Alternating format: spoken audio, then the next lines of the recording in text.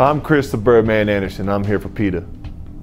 You know, once I've basically heard about PETA and I've seen y'all's ads and, and seen what y'all were, you know, trying to accomplish with bringing awareness to people that buy fur, it's made me want to jump up and, you know, get involved as well and try to, you know, raise the awareness.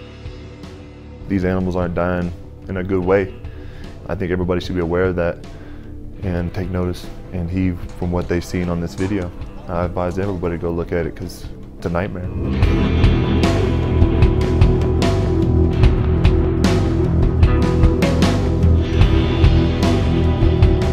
Nobody really knows behind the scenes unless, you know, y'all do like an investigation like that.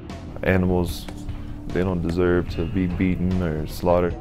Check it out, look at the video that, you know, PETA has put together with the investigations and everything that is going on over in the Chinese world of fur farms.